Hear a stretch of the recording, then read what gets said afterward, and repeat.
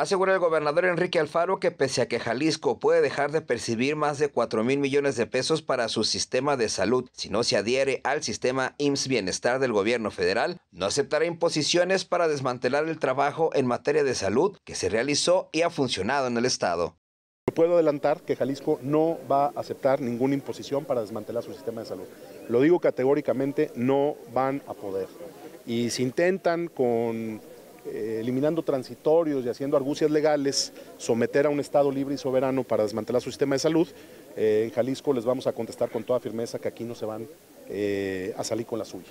El mandatario estatal dijo que existe una serie de disposiciones que están definidas en la ley de ingresos aprobada en la Cámara de Diputados que el gobierno de Jalisco estudia porque sostiene que existen contradicciones en dos leyes distintas que abren un debate el cual requiere analizar. Eh, por supuesto que eso nos da mucho orgullo y por supuesto que estaríamos listos para ir incluso a la ruta de la eh, controversia constitucional si los diputados, particularmente me llama la atención los diputados de Jalisco votando esas cosas a favor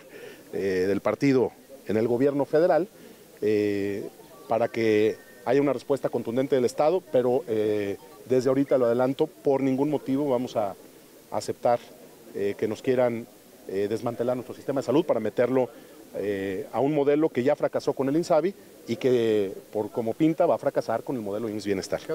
Enrique Alfaro considera que no obtener los más de 4 mil millones de pesos por no adherirse al sistema IMSS Bienestar se trata de un chantaje que en Jalisco no están dispuestos a tolerar y por ello buscarán estrategias legales, así como utilizar la presión de los diputados para enfrentar dicho conflicto. Con las imágenes de Juan Luis Hernández para UDGTV Canal 44, Pablo Toledo López.